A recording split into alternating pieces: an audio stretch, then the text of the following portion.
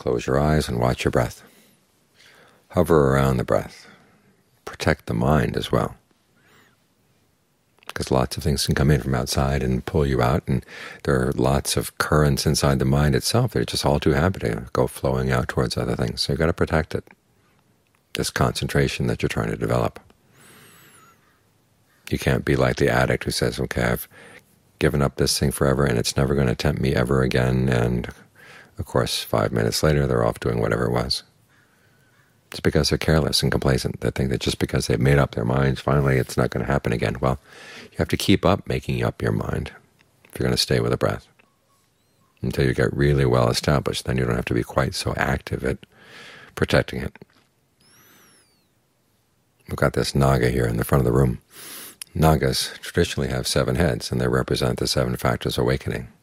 The story goes that the Buddha, after his awakening, was sitting out and meditating, and this huge rainstorm blew up, and so this Naga came up and spread his hood all over him to protect him from the rain and the wind.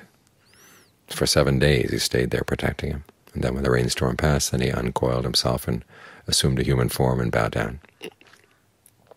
And the seven heads, of course, represent the seven factors for awakening. Those are the things that protect your mind.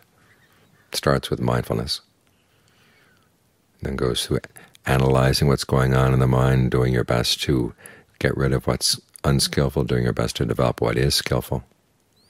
And that way you develop the qualities of concentration, the rapture, serenity, concentration, and equanimity.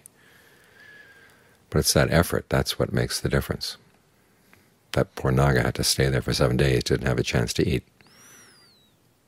But in putting out the effort, he protected something really important.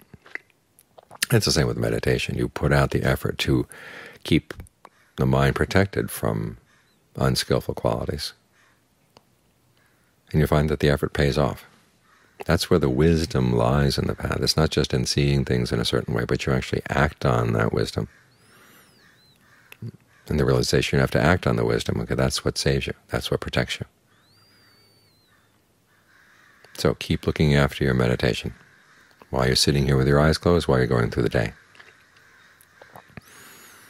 These qualities of mindfulness and analyzing what's going on in the mind as to what's skillful and not, and then doing your best to give rise to what's skillful. That's what gives the results that we want from meditation.